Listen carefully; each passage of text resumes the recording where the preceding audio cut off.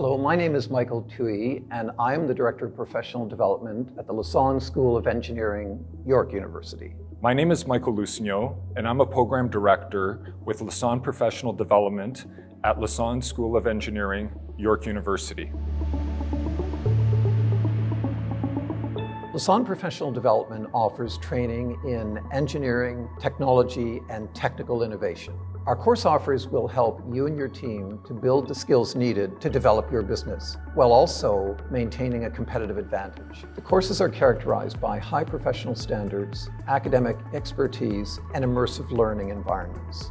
I'm here to tell you about a new course that we're offering called Financial Crimes and Countermeasures. In Financial Crimes and Countermeasures, you'll learn about the emerging global trends in financial crimes and also the emerging technologies in digital finance. The specific purpose of the course is to train professionals on how to detect crimes in the financial industry and how to counter them with the new technologies that are available. We've assembled a team of industry experts ranging from forensic and internal audit, technology, and anti-money laundering professionals to deliver this course. What you can expect to learn when taking this course is, first of all, the history behind financial crimes. Financial crimes have been with us for many decades, but financial crimes have evolved into more sophisticated approaches. So this is really the first part of the course. What are financial crimes? And the second part is, how do we deal with them? How do we better deal with them? and how do we longer term attempt to eliminate them? We've built this course to allow you the flexibility to learn at your own pace, going through online a series of modules led by our team of industry experts.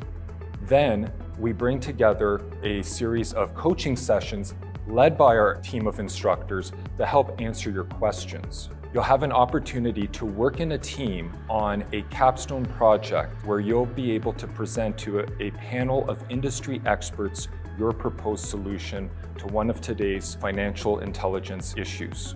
Those that would benefit most from taking this course are individuals that are looking to make a career shift, or also individuals that are looking to continue with their professional development opportunities. Certainly those in the financial services sector but I would also add that people in other sectors like insurance, technology, engineering, these are the people we are thinking about in designing this course. And I think it's fundamental to them to learn these skills so that they can better address these ongoing, almost daily crimes that are affecting us.